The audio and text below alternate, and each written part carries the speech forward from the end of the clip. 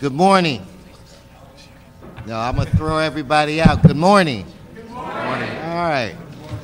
Anyway, uh, today is November 26th. I want to welcome everyone to uh, this morning's HCED committee hearing, and I want to uh, wish everybody a happy Thanksgiving. I'm joined today by my colleague from the 9th District, Jan Perry. Mr. Uh, City Attorney, even though we do not have a quorum, uh, I, I want to proceed. So what we will do is any actions that we take now will be communiques from the chair, and then when I get another uh, member, we'll uh, we will roll it at that point in time. We have several items, 13 items today, 11 of which are on the consent calendar. Uh, I know I have some public comment cards. I think what I want to do is handle the uh, consent calendar first. So with that said, uh, Mr. Uh, CLA, would you read item one? Uh, item number one is a Community Re- Redevelopment Agency request and CLA report to, uh, relative to expending $4 million from the Land Acquisition Fund for partial, parcels located on the 8400 and 8500 blocks of South Vermont Avenue. Okay, then uh, as a communique of the chair, we will uh, adopt the CLA report. You know, you don't look like Meg, Miss No, Barclay. But I will, Ivania, what's up? Where's Ivania? What's up with this? anyway, Mr. Uh, CLA, read item two, please. item number two, CRA report and CLA to report relative to a MOU with the Environmental Simulation Center acceptance of a 375000 grant to initiate the pilot human development overlay project and related contract and other actions. Okay, on item two, uh, as a communique from the chair, we'll adopt the CLA report. That brings us to item three. CRA request and CLA uh, report relative to resolution, relative to amending the redevelopment plan for the Watts Recovery Redevelopment Project area to expand the project boundary, reinstate eminent domain powers, confirm permitted lang- land use language, and provide flexibility in the redevelopment plan land use map. Okay, then we'll adopt the CLA report again as a communique from the chair. That brings us to item four. Item four, CRA report and CAO report relative to a grant agreement with the Los Angeles Gay and Lesbian Center in the amount of 325000 to assist with its supportive services and administrative operations. Okay, we'll adopt that again as a communique from the chair. Adopt the CLA report. Item five. Item five is CRA and CAO report relative to awarding contracts in a total amount of not to exceed 4.5 million for a three-year period with two one-year extension to 10 firms for general landscaping services. Okay, item five, uh, we'll adopt the CAO report as a communique from the chair. That brings us to item six. Uh, Item six is a CRA report and CLA report relative to a contract in the amount of 150000 with Main Street Canoga Park for the continued operation and expansion of the Canoga Park Main Street program and enhanced landscaping and maintenance services. Okay, item six, we'll adopt the CLA report uh, as a communique from the chair. That brings us to item seven. Uh, Item number seven is a CRA request and CLA report on file relative to amending the contract with Chrysalis Works in the amount of not to exceed 50000 for the term of exceed, to exceed one year, uh, not to exceed one year for the purpose of providing continued landscaping services. Okay, then on item seven, we'll adopt the CLA report as a communique from the chair. That brings us to item eight. A CDD report and CAO report on file relative to an amendment with J.H. Snyder, J.H. Snyder Company for a uh, total of 25 million in funding to assist in the development of the 59 five- uh, 959 Seward office campus and related actions. Okay, uh, item eight, we'll adopt as, uh, we'll adopt the CAO report as a communique from the chair. Item nine. Uh, CDD report and CAO report on file relative to amend, another agreement with J.H. Snyder uh, to provide 13.9 million funding assistance in the development of the NoHo 3 office building project and related actions. Mr. Snyder's really busy. What, what do you think? We're busy today. Popular. He's really busy. Item nine, we will uh, adopt the CAO report as a communique from the chair. That brings us to, okay, we're gonna, we're gonna stop. We've just been joined by El Presidente, which means we have a quorum. So, uh, Mr. President, we've just done items one through nine as a communique from the chair.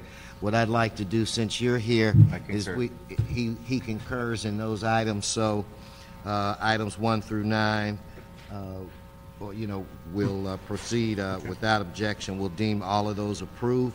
Item ten, Item number 10 is the Los Angeles Housing Department uh, report and CAO report relative to a request for proposals for hiring a consultant for the design development of a rent stabilization and code enforcement outreach program. There's also a technical amendment uh, Okay, to so that. then what we'll do on item 10, we'll adopt the CAO report with the uh, technical amendment. That brings us to item 11. Item number 11 is the motion Garcetti Greuel relative to rem- uh, remedying financial gaps in the amounts of $718,152 for the Mediterranean Affordable Housing Development and 30, uh, $390,000 for the Hollywood Bungalow Apartments Project. Okay, Mr. City Clerk, Sir, yes, sir. since we have um, a new representative from the CLA's office and a new representative from the city attorney's office, uh, let, let's make sure they understand the rule of this committee. So who, whose motion is this? This would be the council president's motion, sir. And is he a member of this committee? Yes, sir, he is. So what is your recommendation that uh, I do with this motion? I would uh, recommend that you uh, approve it forthwith. Now, is that crystal clear? Crystal clear. Crystal clear. So on item 11, we'll adopt the motion. Thanks, sir. Councilmember, pardon the interruption. Uh, item 11 is also scheduled in council later uh, this morning. Oh, okay. That then bring, okay, now what I want to do is, uh, I've got, uh, one public comment card, and that's Mr. Chuck Tenen. Chuck, good morning. No, I, I didn't get yours yet. I, Alan, I told him not to give me any public comment cards from you. So no, you're next. do something different today. Happy Thanksgiving. Morning, Chuck. Good morning. Martin Luther King had a dream. He shared it with everyone that wanted to share it with him. And look what one man's vision of years ago did. His dream is and has become a reality and continues to grow and is changing history. This city has a dream to be a better place for everyone. End violence, affordable housing, and money to spend. Janice Hahn has a dream to help kids stop violence and fund youth programs. The song, Stop the Violence, We Can All Live in Peace, is a powerful tool that everyone in this city can use. It's beyond expectations. It's so good, the youth choir can sing it at Obama's inauguration in January. Obama himself said we need to give our kids an opportunity. This unique and special song is once in a lifetime. We need to make this happen. Stop the Violence was inspired by many people, was created in Watts in this city of Los Angeles. It was inspired by many people, including Councilman Herb Wesson Jr., whose love for kids and in helping kids and in stopping the violence in this city is a dream of his. I hope that everyone will share the Councilwoman's dream of this song project that will be used to fund youth programs and to stop the violence. I asked Herb if he would sing with the kids, and he said, Gee, I don't sing, but count me in. And I told Herb that he doesn't have to be a good singer, anyone can sing it, including kids, and we're all kids. I hope that when this song is unveiled and it's almost ready, and it is so incredible that it's going to be shared with cities all over the U.S., and I hope everyone in this council joins Janice Hahn in singing with the kids and in supporting this project to fund youth programs to help the kids and stop the violence in her district and in this city. Thank you. Thank you, Jeff. It's got to have a soulful beat, though, if you want me to participate. It's incredible. We've just been joined by another member of this committee, uh, Councilman Tony Cardenas. With that, Noel, good morning. Good morning, Herb, and you know, you're more than welcome to provide that soulful beat. Uh, and Mr. Garcetti, in terms of the accompaniment, he can provide that too. Um, Herb and committee members, I wanted again to reiterate the continuing proposal here to have somebody from the Housing Department uh, and also, Herb, have a regular agenda item that basically has the Housing Department here to listen to complaints from the public relative to specific situations, or have the Housing Department on a proactive basis tell this committee, tell the public what problems they found and how they've solved those problems. I think that's, again, I want to kind of renew that recommendation. Hopefully, at some point, it will find uh, acceptance. Um, secondly, with regard to the uh, this, this, foreclosure issue, I, don't quite understand why it would take uh, two weeks for the city attorney to basically add one sentence to the current RSO, because all we're talking about is exempting buildings that are currently in foreclosure from the uh, RSO provisions, and that's just one or two sentences maximum. And, I'm just and I'm concerned about also Herb the idea and committee members the idea of lowering these tenant relocation fees. Now I know that's going to come up on the second, and maybe there's a little bit of a uh, you know give and take here relative to saying, well, we're going to have we're going to give the tenants and then we're going to take away on on the second of December. I really want to put in a push for holding this um, because honestly, it's going to create, I think, a differentiation between different categories of tenants. What you're doing here, you already have a differentiation, as we know, as we've had occasion to discuss, but now we're creating a new one.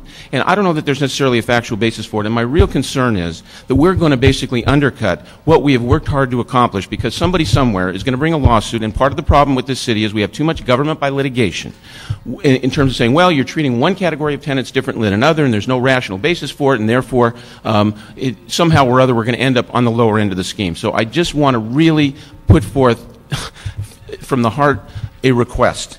And there are other ways to do this. There are other ways to give these. I, it's not that I'm. That there are other ways to solve the problem relative to subsidizing that differential. So, um, thank you for Thank listening. you, Noel. Okay, uh, Mr. CLA, that brings us to item 12. Item number 12 is a CRA report and CO report relative to amending the agency's fiscal year 2008-2009 CRA budget for additional carryover resources in the amount of $82 million and related actions. Okay, come forward, please.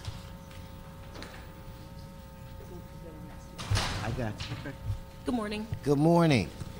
You doing this one alone? I don't see the budgets. We don't get Lisa Johnson Smith, City Administrative Officer. Um, Before you is a request by the agency to, for various authorizations to amend its 2008-09 budget to recognize $82 million in carryover resources from the prior fiscal year, tax increment and projected bond tax, projected tax allocation bond proceeds for central industrial and city center project areas, $1.5 million in Proposition 1C infrastructure, infill infrastructure grant funds for the Figueroa corridor, infrastructure improvements, transfer $8.6 million to the development opportunity from three line items in the Reseda Canoga Park project area, a request for $424,000 in general revenue fund for labor and overhead expenses for the Central Business District. The, in terms of the land acquisition fund, to date, the agency states that the total budget was $43.5 million, with council approved allocations totaling $24.6 million. Um, during the adopted budget for 2008-09, there was a request to put $1 million for a repayment by City Center in, by Central Industrial towards the General Revenue Fund, the agency's General Revenue Fund. And these funds were going to be dedicated to the Land Acquisition Fund. On November 7, 2008, the council adopted a motion and amended the budget to delete that million dollars. As a result of that motion, the Land Acquisition Fund budget total is now $42.5 million.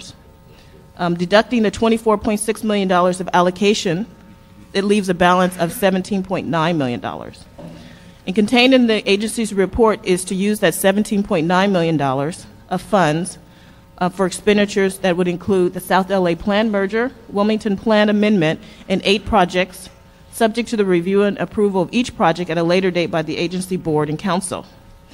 Our office recommends that two of those items, the South Los Angeles Plan merger and the Wilmington Plan amendment costs, be removed from the $17.9 billion list based on the fact of, of the agency, uh, the acquisition agency fund guidelines.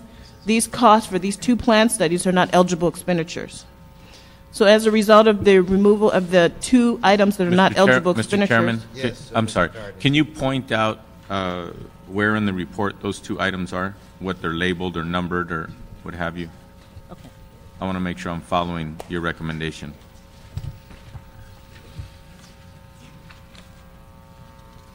We dis- we discussed this on page four. On page four, in the first paragraph, the first real paragraph, or uh, it's um, there's a 17.9 million dollar request for money by the agency from the Land Acquisition Fund. Um, there's $900,000 that was requested for the South LA Plan merger.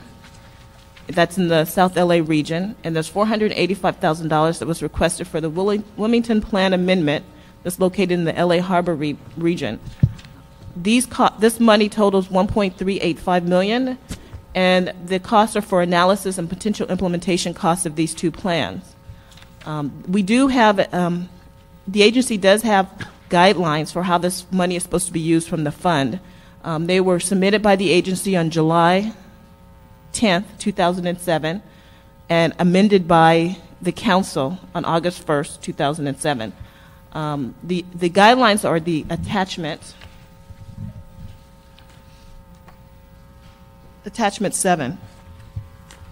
Uh, and one of the amendments that was made in the, uh, by the council was that these expenses should be for voluntary land acquisitions, and there are very costs that should be included in those expenses. And so the plan, uh, plan costs, the cost studies for the plan amendments are not eligible for these particular uh, acquisition fund monies.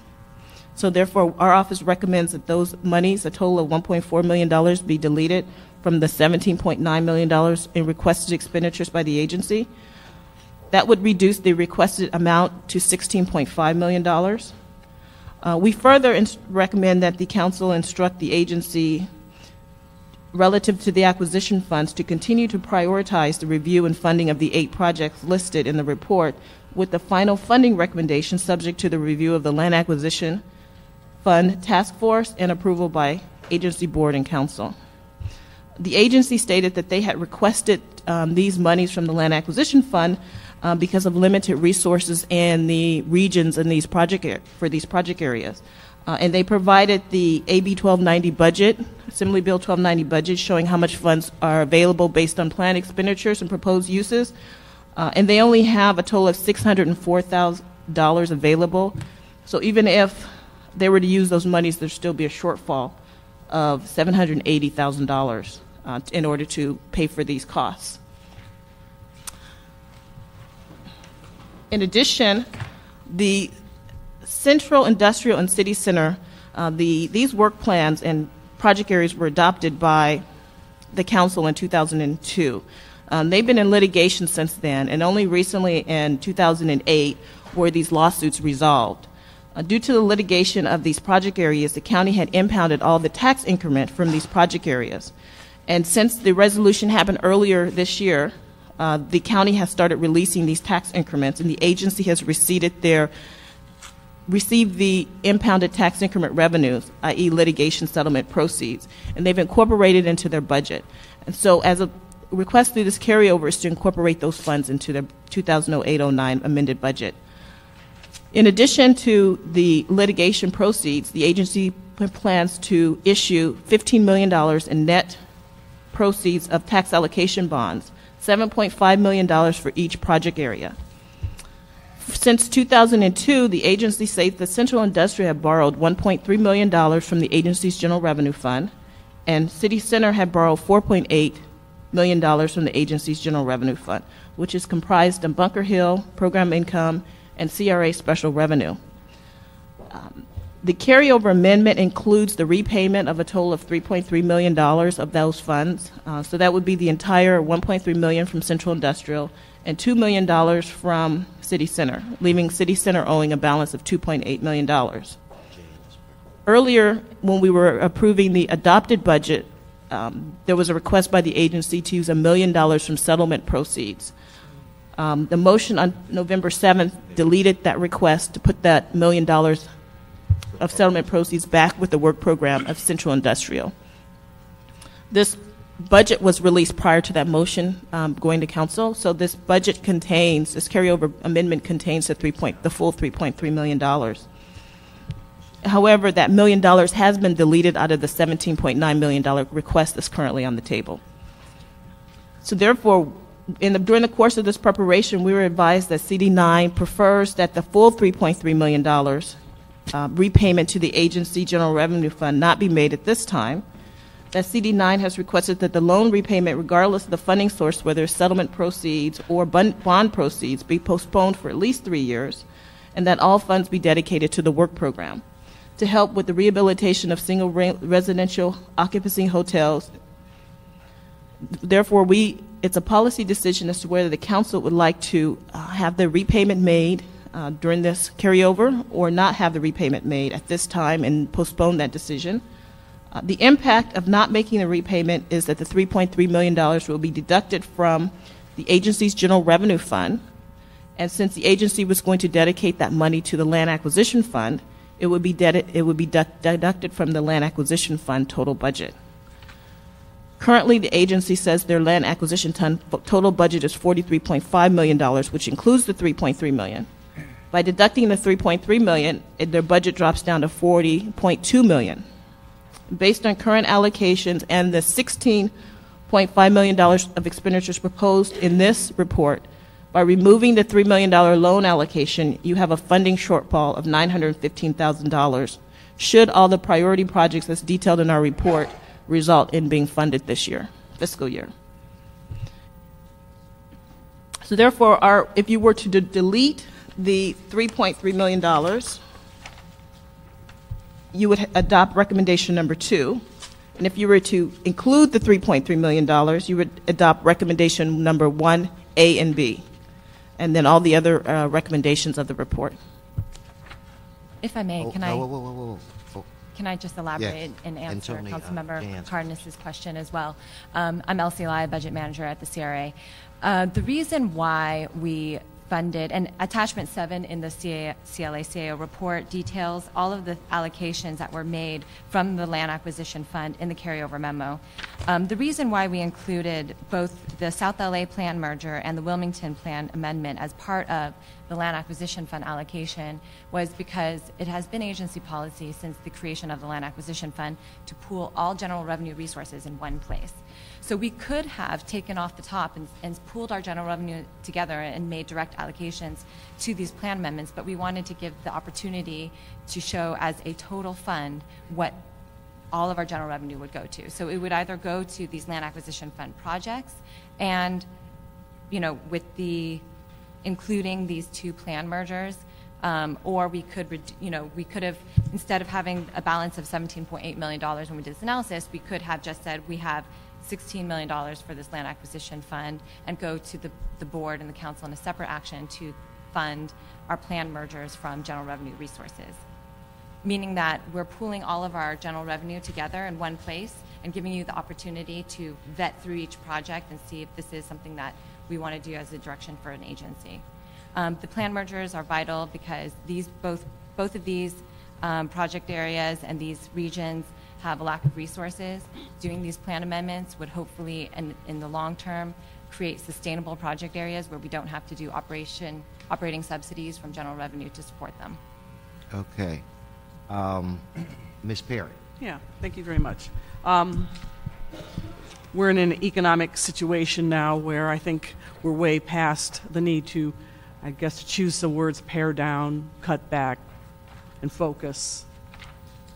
Land acquisition was a vision approach. We have plenty of projects in the pipeline that we can focus on, and if we just get those projects done, I question whether we even needed a land acquisition fund in the first place, but I want to say up front, I have a lot of concerns about the redevelopment agency's report, and I appreciate the CAO report and the options presented today. Within the CRA report, there's approximately 18 million uh, in land acquisition funds being committed to projects for which we have no detailed background on, and it's unclear, uh, based on the way the report is written, whether these projects have been reviewed or approved or vetted by the Land Acquisition Fund Task Force. So I'm don't understand why this item was even included in the mid-year carryover budget, and I ask that we adopt the CAO's recommendation requiring each project to come in separately for approval. I feel, and this is my opinion, that the redevelopment agency included the land acquisition fund uh, as an attempt for us to conceptually approve projects that have not been thoroughly vetted. And, and, and I'll just say this on the record this is uh, an effort by management to pit one council office against another, particularly in South Los Angeles. Now, for me, I find that a very insulting tactic to other elected officials because that assumes that if you make a promise, a sidebar promise, to one elected official that their project will be taken care of, then uh, outside of a fully vetted process, then of course they're going to reject what another council office, in this case that would be me, would say today. Uh, and in my opinion, it's the most clumsy and unnecessary form of patronage politics uh, that I, have seen in a while. So I think it, I would say and suggest that it stop. For the record and the HCD report that goes to council, I want to make a motion moving the CAO report and instructing the redevelopment agency to provide separate board reports and acquire board and council approval on each potential land acquisition fund project. That's one. Additionally, I have recommend, concerns with recommendations two and three regarding central industrial and city center project areas within the redevelopment agency board report. Now, some of you may recall that on May 15, 2007, the proposed settlement for the city center and the central industrial project was heard in closed session at my request. I had to intervene and work with our city attorney and ask the redevelopment agency to reject a proposed county settlement which would have yielded only 20% of the tax increment from the project areas and possibly still violate the Bernardi cap, subjecting the matter to possible further litigation. My council colleagues supported my position unanimously. I instructed the city attorney to reject the settlement and appeal the decision. Now, today, the city is reaping the benefits of the council's action. In fact, even the city's general fund benefited, and the city was able to receive the funds the county had been impounding because the settlement took place. Now, according to the CRA board report, Central Industrial owes 1.6 million in general revenue and City Center owes 6 million. However, this is the first time in 8 years that either project has been able to collect tax increment because of the lawsuit and establish work pro- programs. So, it, from, a, from a logic standpoint, it makes no sense to require repayment the first year out. I would also like to make a motion, I'll go over these again at the end, to remove any general revenue and or settlement proceed repayment obligations from central industrial and city center project areas for at least three years and dedicate all funds to the work programs that are already in the pipeline. I strongly recommend we adopt recommendation two in the CAO report. This is important to me. Now, you know, a lot of people, they either uh, say pejorative things about downtown or they don't understand downtown. But let's talk about downtown because it's a very unusual place. No other project areas in the city have been subjected to such intense litigation as City Center and Central Industrial, nor has the council had to, adv- had to intervene as much. Downtown is an unusual place. First, no other part of the city is subject to the Wiggins settlement and you'll recall the Jones settlement, a case uh, brought by the ACLU because of the number, the highest concentration of homeless people in the entire city here in downtown Los Angeles. And in both cases, both in Wiggins and in Jones, both of these settlements address the need for the creation of more permanent supportive housing. As a matter of fact, we are legally bound to fulfill the requirements of the settlement obligation by building a specific number of affordable housing units within a given timeline. That is part of the settlement language in both cases. Second, as many of you know, there is no other part of the city that has so many concentrated social service uses and single room occupancy hotels. There is no other part of the city that has this. So I believe we should be dedicating all of the general revenue and proceeds settlement from City Center and Central Industrial to the rehabilitation of the single room occupancy hotels and into sustainable and uh, healthy, uh, affordable housing options. Uh, so, again, I'm going to reiterate we adopt the recommendation two in the CAO report. And finally, I want to ask the redevelopment agency to report back to the committee on two items. In the City Center Work Program, there is $75,000 allocated for industrial land use policy. Since there is no industrial land use policy uh, for which I can get any clarification, I don't understand why there is a hold uh, that approves that item within this budget. We haven't voted on an industrial land use policy. I suspect we're not going to reach any sort of consensus on that anytime soon. And uh, I don't see any reason to keep a hold on that money. Lastly, there is no reference to the state budget impact and how that's being handled from a redevelopment agency perspective. And I ask my colleagues to consider whether or not it is even prudent to approve a mid-year budget that does not address that issue also. So those are my comments. I have several, I think, two motions contained therein, and um, would like to put those on the record and ask if I can get a second. If you would like, I can read them again, Mr. No, second. Okay. Do you want me to read them again into the record? I think what we'll do is let's let uh, Mr. Cardenas has some questions that he wants to ask. Then, when we're about ready to wrap Okay. this up, we'll come back. Great. Okay? Mr. Cardenas? Thank you very much, Mr. Chairman. Um, To the CRA, you mentioned uh, something about CRA policy a few minutes ago. Can you uh, state that again, what you were referring to? Um, Well, there's a couple of policies at stake here, but um, the one policy that I was referring to was about how we pool all of our general revenue resources to create the land acquisition fund. Prior to the creation of the land acquisition fund, all the general revenue was kind of uh, at the discretion of the um, the CEO or, or at, called at one point in time the administrator. So, um, you know, we decided, the agency decided to pool the resources together to create this land acquisition fund so that, um, you know, catalytic, critical projects could be made across the, all of, you know, the project areas that couldn't be made before because of all the pooled resources. Prior to that, it was, you know, discretionary and there was small amounts maybe in different project areas and things like that. Now, when you referred to that and you said agency policy, you're talking about agency practice or a policy that was a directive of the council that that shall be agency policy? Um, it was a practice that was then adopted as part of the land acquisition fund policy. Thank you. That's it, Mr. Cardenas? That's it. I was going to say a lot of stuff, but she already said it all. Get it. You can, you can add in. She No, jumped. no, you, you did a fine job. Did I Mr. okay? Garcetti, did you want to say anything?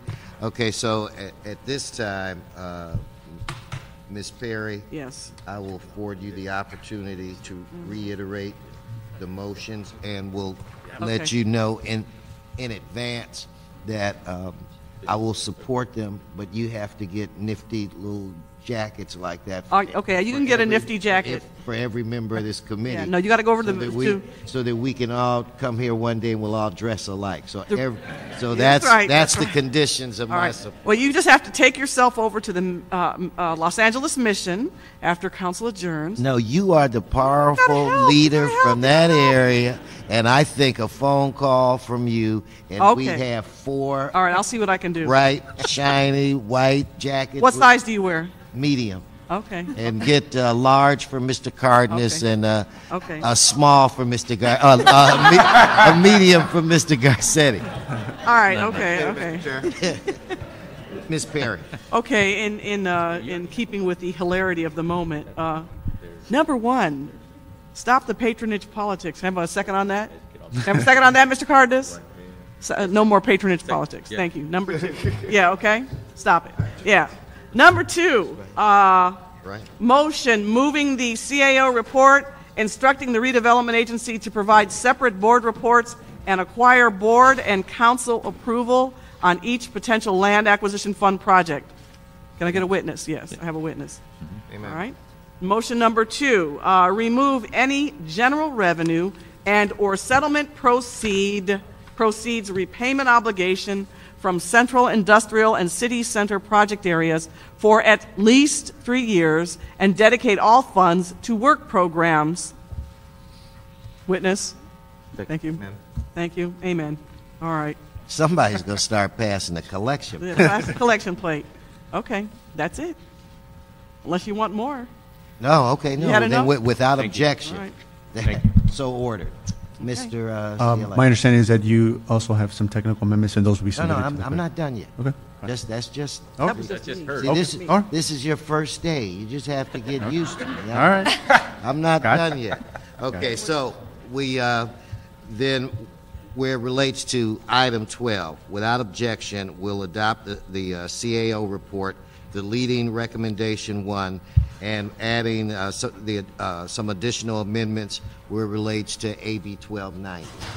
So without objection, uh, Mr. CLA, uh, what's the next? item? The next item is uh, item number 13, uh, LHD and CEO report relative to the 2009 Affordable Housing Trust Fund and Permanent Supportive Housing Program, NOFA, and related actions. Okay, now I think I want to take public comment first on this. Chuck, what time do you get here? Why are you always the first card? Because you are, but Chuck, you're item 13. Come on. The second one is, uh oh, Andrew. Daniel Falcon and Nancy Lewis and Molly Rysman. Uh, some, uh, speakers cards. They're uh, on the rear table by the. Just hold tight, Chuck. We'll let it calm down a little bit.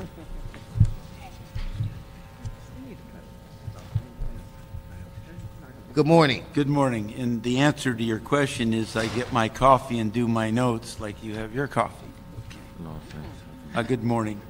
Every week, the Housing Department should report at this committee to keep the public informed of available funding, available projects, program notices of funding availability, and rea- related actions of the 2009 Affordable Housing Trust Fund that they have actions, there are actions that relate to the people, and it should be in the interests of all the people in the city and the people that need help in affordable housing.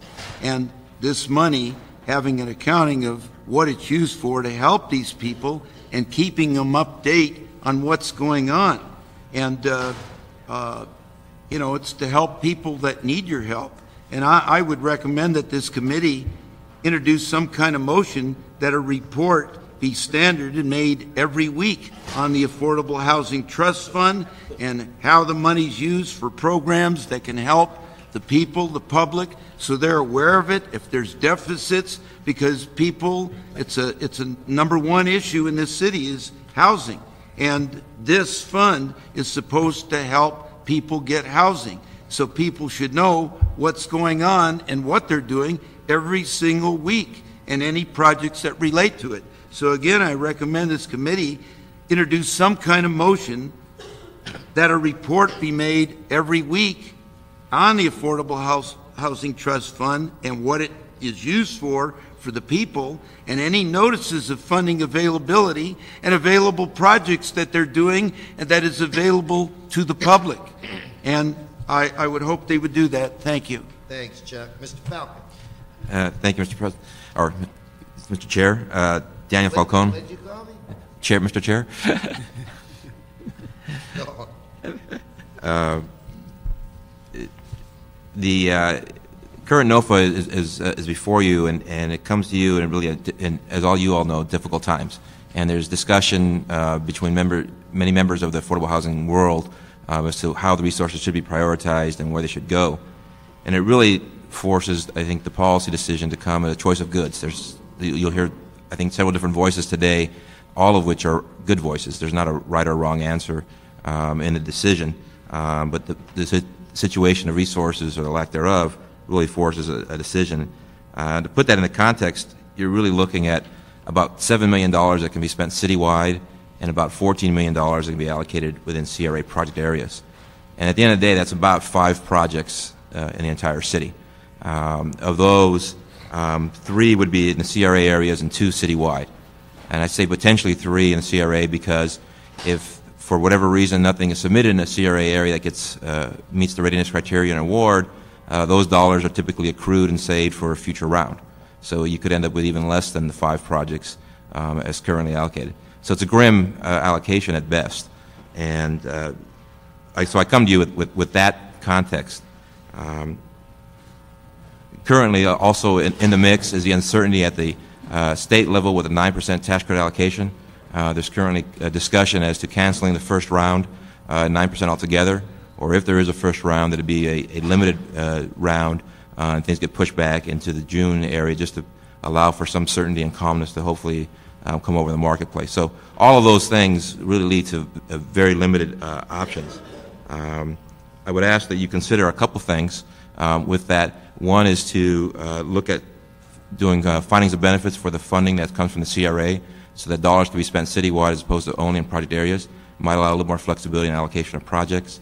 Um, maybe that should be with a nexus to uh, CRA areas of, of benefit, uh, maybe with city, uh, looking at city council boundaries to where the CRA areas are, um, so certainly the dollars don't flow too far away from those project areas. Thank you, thank you, thank you. Uh, Ms. Lewis and uh, Ms., then Mr. Richmond.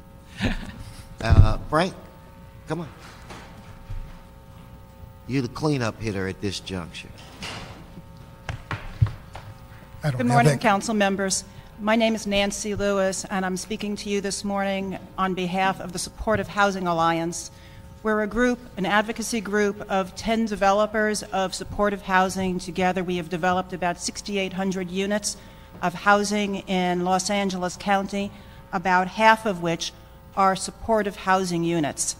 Um, we are concerned that the uh, uh, NOFA in front of you today prohibits projects serving the chronically homeless from applying for funds, um, which would also allow them to access project based Section 8.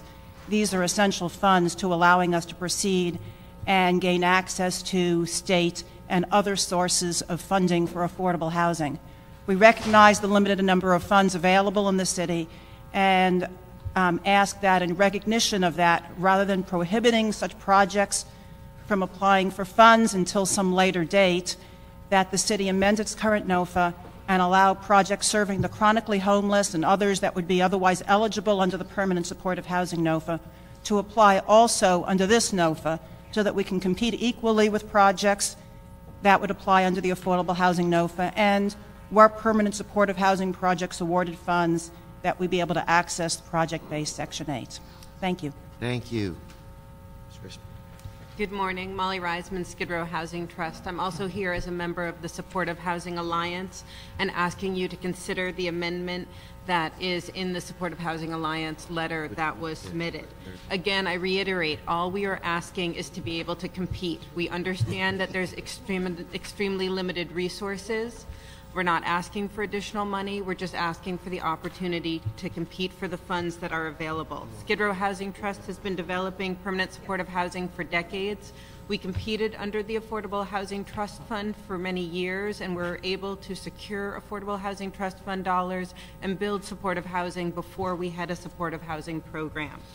Even if one supportive housing development is funded because it's allowed to compete, that may build dozens of units for individuals who are homeless. Otherwise, we will have a glut of developments competing in the round of the supportive housing program that would occur in April of May or next year. All of us who are supportive housing developers have a number of projects. If we're not able to compete now, we have to hold on to those projects, and there will be many competing, and we will still have projects not funded in April. In, addi- in, addition to that, we do not know what the affordable housing funding environment will be in April. There's a lot of uncertainty now. We do not know if Prop 1C funds will be available. We do not know if our syndicators will be able to syndicate tax credits next summer. So if you ask us to hold on, we don't know what environment we're going to be going into. So again, I reiterate, we're simply asking to be able to compete. Thank you. Thank you. Mr. Fonseca. Frank Fonseca with American Communities. Uh, here on behalf of uh, support of the, the pending uh, transmittal. Essentially, uh, the, the, most important thing uh, I think I can, I can convey is the Housing Trust Fund used to be $100 million, uh, and it was broken into two rounds at 50 million each. This particular NOFA is only for $26 million. Uh, as everyone knows, we're having a crisis in, in the equity marketplace for affordable housing projects, which means it's more important than ever to leverage as many resources as possible. The Prop 1C Transit Oriented Development Program is going to exhaust its funds in the upcoming year. Uh, 45% of the $95 million under that NOFA, state NOFA, will be available to Southern California cities. the city of Los Angeles needs every possible dollar it can allocate for family and senior affordable housing projects and TOD potential projects, or we're going to miss out on one of the biggest state subsidies um, that will be sunsetted forever after next year. So I urge uh, the council to consider all of the necessary leveraging sources that it takes to really bring and produce significant affordable housing units. Thank you. Thank you. Um, Mercedes, and before you, uh, before you begin, uh, Ms. Perry is so concerned that I might uh, forget that she has something to say that I think, eh, you know, because she says I'm old, I think she should uh, let her make her statement first and then. Yes. Oh, Miss Pear. That, well, I thought I'd write it down for you because I don't if you believe- see it and you and you visualize it, no, then but it'll make be sure it's with- real big letters. Wait, she Bold comes print. Over with a note. No, no, it's okay. It okay. says, I want to speak. I'm being supportive of you. I'm saying, just tell me. Yeah, no, no. Because I see, that way just- you visualize it, it is imprinted, and therefore I know you won't forget it. And this is a good thing. I realize permanent supportive housing, uh, the NOFA's coming out in April 2009, and I just wanted to make a motion asking LAHD to look at the following items, and I'll give you some notes on this later. Um, removal of negative point scoring for projects located in the Central City East slash Skid Row community a reasonable unit size exemption for buildings that are declared historic cultural monuments. And I think this is really important and a new way of looking at things because I'm thinking about what we could have done with Project 50, which is link people uh, to from shelter to housing, and maybe we can do it this time. Providing a link between people who are staying in shelters in Los Angeles to the units that are being built by the Permanent Supportive Housing Program. And then finally, that's the motion. Um, may I have, thank you, have a second on that. And then finally, one report back request regarding the Affordable Housing Trust Fund.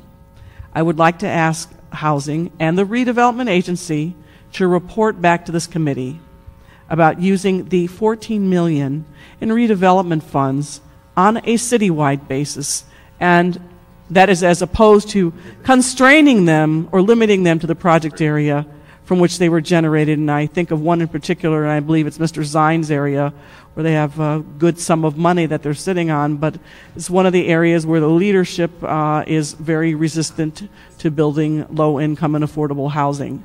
And if they don't want to do it, then maybe we need to find another way to use that money. And I say that without malice. Just it's a reality check, and maybe we just need to move on and stop stop trying to beat a dead horse and just get this money get this money out there to build housing. Uh, so again, as opposed to constraining them to the project area where they were generated fund the money, I would like to make a motion asking LAHD and the redevelopment agency to report back to HCED about how we could accomplish the goal of basically releasing the money from the redevelopment areas where people are not spending their their tax increment on building affordable housing so that we can get going in the areas where we are willing to do it and to move it over into those areas and to tell us if that is even possible and if so how we can do it. Thank you. In fact, uh, just on top of that, realistically, how how long would it take for you to do that assessment and come back? Because I'd like to kind of put a time on it because it's in, how long would it take you to do that? Well, uh, I'm not the redevelopment agency, and Well, what under- realistically then? How my, long do you? my think? understanding of this is that it's a matter of policy? As a matter of law, the tw- money that is set aside, the 20 percent that is required from tax increment to be spent on housing, if if the redevelopment com- agency commission makes findings, the money can be spent i- all over the city where there is a need. So it is an issue really of working through the redevelopment agency, and I imagine with the mayor's office, of coming to a, a discussion and a decision about the use of that money from a policy point of view. Uh, and so that is not something that I could even begin to give you a, t- a timeline on. Okay, well then this is what what we want to do here. Uh, I would like to get this report, you know, in a real. I, we don't want to wait nine months. In, end of January? What?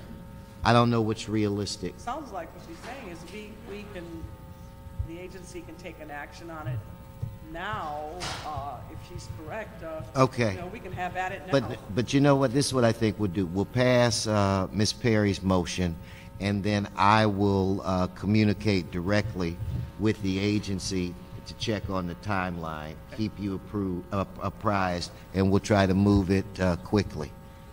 But Mr. point of, point Cardenas? of- point of clarification, um, um, to Mercedes, you, you said a matter of law, 20% on housing. Now that's a minimum of 20%, up to 20%. It is a minimum. In other cities, for instance, San Francisco and San Jose, who have done robust housing programs, they've used up to 50% of their tax increment for housing. It is a matter of, of policy. The law requires a minimum of 20%, but it can, you could use it all if you wanted to. I mean, that's a, mas- those are issues of policy. A minimum of 20%. And in the city, we actually use 25%. 20% is within the, ha- within the redevelopment agency, and 5%, an additional 5%, the city council years ago passed, comes to the, the trust fund. The $14 million that the councilwoman is speaking about is that five extra 5% that sits in the trust fund but can only be used if a deal comes mm. forward that fits it.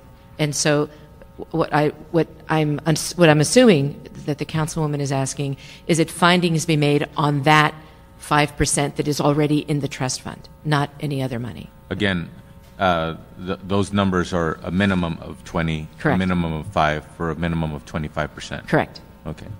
Thank you. Mr. Garcetti. Um, And then we, we are going to afford you the opportunity to do your presentation. Thank you, Be sir. assured of that. Oh, I, I can wait till after the presentation. That's- Really? Yeah, yeah. Okay. Now, I have a quick question. You heard some of the, uh, the individuals that spoke on this item. Do you have, you know, quick response to I some do. of the things? I do. Yes. Uh, as all of them said, uh, we are in a difficult time. But we are not just in a difficult time because of the budget situation, because of the credit markets. It is true that there is a drastic decline in credit equity in the markets. It is true that, as we have seen earlier today, um, there was a motion to put more money into a deal because of some of those problems. It is, it is our clear belief that we have spent the last two months shoring up deals that already had all of their funding in place, right? And through no fault of their own, because of the credit markets, the tax equity partner fell out. We have had to come back and we have to figure that out. My clear view is if we as a city are going to go forward and continue in the business of affordable housing, we have to understand that we're in a time like this. Our first obligation is to make whole the deals that have already been funded. We have to keep them through the pipeline. So that requires money that has to be, we have to have money available to solve problems that through no fault of their own are created because of the financial crisis we have. That's one thing. Secondly, because of this process, we also have uh, a drastically lower amount of paybacks of home dollars, right? So program income is down um, because of this crisis. So nobody is paying back, right? It's very difficult. So we have even lower money, you know, even lower funding coming through. But it is also true that when you have a housing policy, and all of you have appropriately and and with great levels of articulation and passion over the years, talked about the need to have a housing policy, that we understand what it is we're trying to fund. Well, once we lay that out, as we have in the trust fund, right, the Affordable Housing Trust Fund, through you and the mayor's office, has set aside our funding to try to achieve two goals and to keep them in balance the creation of permanent supportive housing for the chronically homeless and the regular program of affordable housing for families and seniors and others with needs. So it is a dual parallel goal that we have to do. And as all of the speakers have said, we have less funding. You all know that, right? That when I first arrived, you all know that we did Project Clean House and we were able to turn around somewhere in the area of over $50 million in capital and we have used it. Well, LHD, I'm, I'm, you know, pleased to say we've done a good job. We have gotten all that money out. There's no money sitting, right? We're a good bank. And as a result of that, and lower income coming, right? We had general fund cut to the trust fund last year. Uh, and we've had federal dollars cut every year, right? So we're nowhere close to $100 million now of equity. All right. Having said that, my job is to come to you and balance those needs of permanent supportive housing and our regular affordable housing program in the best way that we can. And we do that taking into account what's going on with tax credits, what's going on with other leveraging sources, as others have said, right? Um, what's going on in the state competitions, and where we are on our goals. Now, the permanent supportive housing developers, and I am glad to see the Supportive Housing Alliance. I will tell you honestly that in a meeting with them a year and a half ago, I asked them to form the alliance so that we could speak um, all together. So they've done that, and I'm pleased about it. So should know the housing department supports it. It was our idea that they do it. But this is what's this is what's happened as we manage these two goals. Since 2006, mid 2006, right? Because the program for permanent supportive housing was adopted not in the beginning of the year and, and got rolling later. We have funded 793 permanent supportive housing units, right? Last year, uh, we actually funded 294. When all the funding commitments were done, because we had carryover from 2007, we actually funded 519 units last year.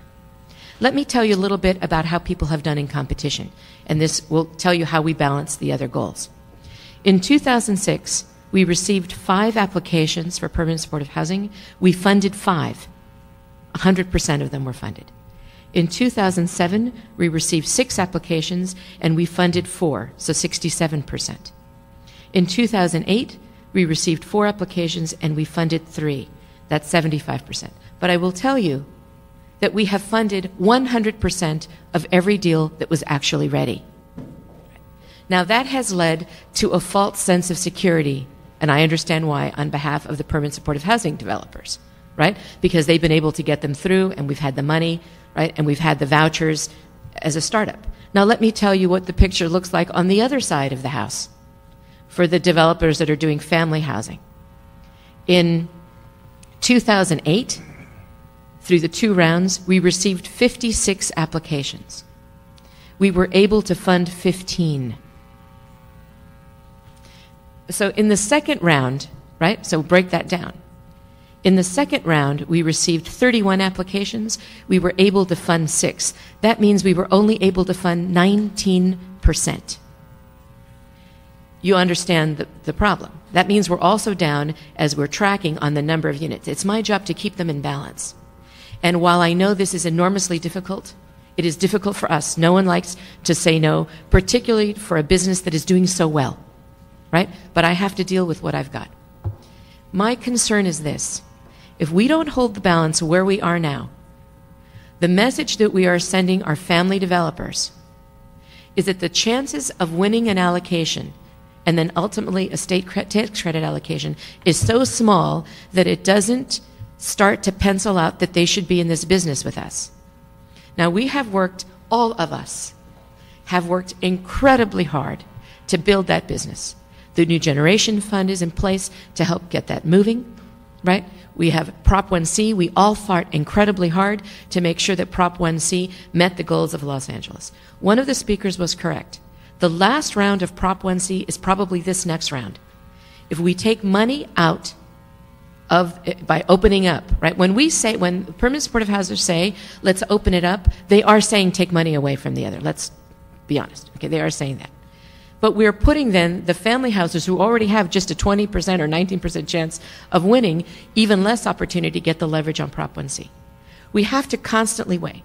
The other thing is that permanent supportive housing deals have a better chance with a 4% tax credit deal on our MHP right? They have another opportunity outside of the tax credit, 9% tax credit program. The tax credit program itself only has enough commitments to fund four permanent supportive housing deals in the entire state. Only four. So we're constantly looking at how is it that we're going to do this. We believe this is the most prudent course of action, even though difficult, right? We believe this is what we have to do. In April, when the federal dollars come in, we will have a, a, a, robust round for permanent supportive housing. Everyone is in the same danger. Permanent supportive housing deals are in no greater danger given the market and tax credits than anybody else. And while I know this is difficult for, for all of us, I'm, I'm telling you that we have looked at every, at every angle. And you know that we have been incredibly successful in our, in our, you know, in our doing our analysis of what will win. We think that this is the best way to go. And we ask you to support us. Now, if we get somewhere on this 14 million of that's in the CRA, that's currently in the 5% pool. I'm not, you know, we're not talking about anything else. What's there? That will give the re- that will give the housing department the opportunity to come back to you and say, all right, if we had some some movement on that 14 million, that that money under the MOU we have with the CRA stays within the regular affordable housing pool. But it would permit the housing department to come back to you and recommend moving some home dollars from that pool into permanent supportive housing to help bolster that. So that's what would happen. We would end up moving dollars from the regular fund to permanent supportive housing because we would have uh, an, an, you know, some more flexibility on the 14 million. That's what ended up happening. Now we're in a t- very tough, tough year, and I am told by the mayor's office really that I shouldn't expect any general fund at all. So we're, you know, it's just a, an incredibly tough year, and this is where we are. Question on that point, she's in now. On that Uh, point. Just on this point, um, for example, okay, here's an idea. If we amended this, the uh, memorandum of understanding between LAHD and the redevelopment agency, would that be a quick and direct way to make the 5% available on a citywide basis? And is, is that a viable option? If the MOU were amended, I'd have to take a look to see what else it, uh, im- what else it impacts. Um, but what I would do is rather than doing it citywide, we would come back to you with recommendation. The problem is this. If we don't have enough money in either fund, you can't fund. Right now, the capital that is in that is left over from permanent supportive housing because we met our goals last year, right? There's less money there now because we did a good job, right? There's only enough money right now to fund 30% of one average deal. That is why we're recommending move it over to the regular program as a loan, since you can't do a deal there, so that we could fund at least two deals with the unrestricted capital. So if you were to amend it, we'd have to come back and see how it fits Okay. to make money available. But we would be happy to come back and do that You're analysis. going to come back with a report anyway, so Yes. we could add that onto the list. Mr. Garcetti? Thank you, Mr. Chair. Uh, I had a similar experience to Mr. Cardenas um, with Ms. Perry's earlier questions, um, which covered most of my stuff. So it must be the white coat. and thank you for that, Ms. Perry. But I just wanted to to uh, also add my uh, support for that motion and reporting back on that. And just to go a little further with the logic as to why we have a, a huge economic downturn, particularly in the housing sector. We need jobs, we need housing more than we did a year ago, more than we did two years ago. We also have, coupled with that, the state looking at the one source of funds they can take, which is CRA dollars. And we just, if we want to play defense on those funds, we have to spend them out quickly. If we want to play offense on housing, we need to build housing. So it seems very clear that that report should be back in Swift's time. And I think the city attorney should assist in looking at what options. Does it have to go through the board? Is there a way that we can find um, some sort of finding a benefit um, in an, an emergency way? Um, I think clearly if there's ever um, a time to be able to find some larger benefit to our redevelopment areas, if there's some projects that are within the blocks, we live in a single housing market, and certainly the people who will be moving into those um, affordable housing areas live primarily in project areas. So I think there is a nexus there. I also um, wanted to ask when you said the 793 units, 92, what is it? 93. 93. Um, how many in that same time period have we built that are not permanent supportive housing units? And give me the numbers. Right. It's in the area of a little over 1,800. Okay. Uh, but that means that we're down um, somewhere in the area of 800 units off of our mark. Off the what? Off the mark. Off the mark of the goal was about 2,600 of We're off non about 800. non-permanent supportive housing stuff, and and that's primarily due to rising construction costs, land prices. What is it? It, it's due to all the things you cite, but it's largely due to the less to in the less Affordable capital. Housing Trust Fund. Um, this underscores two other things. One, our housing policy, which we helped develop in this committee, um, And you know those goals. We, we did try at one one point with the Affordable Housing Trust Fund to really say 10% has to go here to homeownership and 20% has to be there. And it's tough to hit those goals precisely. And I think it's limited to do that. We had uh, an unbundling of that so that we could have some flexibility. Um, and I think that that's good. The the second piece though. Uh, is the permanent needed for a permanent source of funding for the Affordable Housing Trust Fund just is continue to be underscored. Um, and I was worried that we had uh, in the mayor's budget a, a lower allocation this year um, for our housing trust fund. Um, this is a, a, rough year to suddenly go back to the budget and try to find that permanent source of funding. Um, but even putting in place something for future growth years, just as we're doing with mixed income right now, nobody thinks that mixed income is going to be a great boon to the uh, uh, stimulus of building housing at this moment, but it's a good time to do it because when the economy recovers, it'll be in place. Similarly, I would say even more important is the permanent funding for the Affordable Housing Trust Fund. So I look uh, forward to working with you, Mr. Chair, on that and seeing what we can do um, to either take that back to the people in some way or to figure that out in here in in house as well. Last thing is, um, I hear loud and clear the permanent supportive housing folks' uh, words and it's it's just the, the, saddest of times that we're turning you know homeless folks uh, in in essence. Not that you're doing this but that we are turning homeless folks against seniors against poor folks. I mean it's like you know let's let's get all those who are in the greatest need to, to fight with one another about where the funding is.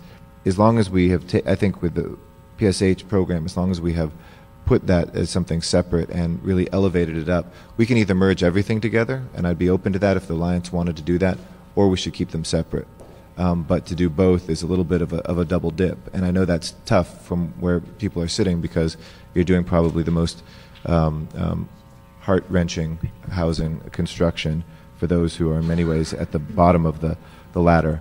But let's work on other places, and I think the best place to start really is in that CRA money and to take a portion of that potentially to go into um, a new round for PSH as well as uh, to help us with regular housing. May I ask a clarifying question? Oh. Councilwoman, I may have misheard you. Were you saying that, in response to your last comment, that what we were interested in in the report back is having CRA make findings every year on the 5% if we amend the MOU? Uh, no, I was asking on the very last point that I made. I was asking whether or not, whether we, if we amended the MOU between housing and CRA, whether that would be a way to make the 5% available citywide, and then you wanted to weigh the, I guess, the pros and cons of that. And so, you know, whatever. All right, I just yeah. want to make sure I, under, I understand. Thank Mr. you. Mr. Cardenas. Um, now, for this round, um, you'd like to make some of the criteria is that you include bonus points for projects located close to bus hubs in agreement with Proposition 1C transit-oriented development guidelines, correct? For this round only? Um, the, the NOFA would give prior, a, a, subsidy boost of projects near transit stations. Now, the state defines transit stations, including includes bus hubs. That's anywhere where. Yeah, but let's cut to the chase. Right. If you're we, next we to a real transit station, right. you get yes. maximum points. If you're next yeah. to a little bus hub, they throw you a, a penny or two, which isn't going to get you uh, well, we, the points you need to, to win. We agree with that. And the reason for that this year is because of what's left in the Prop 1C money. When that, when we suck up as much of that, you will, you know, our priorities ch- change and shift as we're looking at where the money is and how we take advantage of it. So for this year, that there's probably just one more round of Prop 1C, and we want to make sure that we're getting that money. Yeah, but we have to be honest with ourselves and realize that those are state guidelines. That where you have heavy rail, uh, you get the maximum points. Yes, and I and disagree with what the state did, but you're right. The orange line, and when you're by, you know, corridors like Van Nuys Boulevard or what have you, uh, and you have a lot of traffic, the fact that it's not heavy rail means that you're going to get a little bit of points and you're not going to get the maximum potential points. That is and true. isn't it the case that uh, in some rounds it tends to be only those projects that get the maximum points across the board that actually get funded? That is true. I mean, that's the way the game is played. I mean, you know, for, for a developer to say, wow, I got 92% of points, and they have a smile on their face, real developers who know the game laugh at them and say, unless you got 100, buddy, you're not in the game. So my point is, for, before the game even starts, if you if you're able to get the maximum number of points because of the transportation element, and you're only able to get a modicum of points in that category because you just don't have that element near you, you're kind of out of the game before you start.